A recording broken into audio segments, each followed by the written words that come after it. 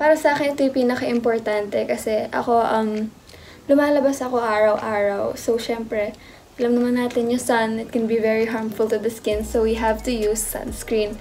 And the sunscreen I use is this Biore Aqua-Rich Watery Essence. So, maganda rin to kasi, first of all, water-based din siya. And then, it's SPF 50.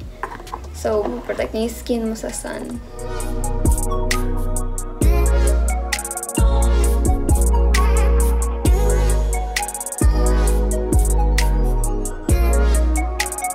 Always drink water kasi when you drink a lot of water and you stay hydrated, yung water, ni-cleanse niya yung body from the harmful toxins that may contribute to na sa kakasira ng skin natin.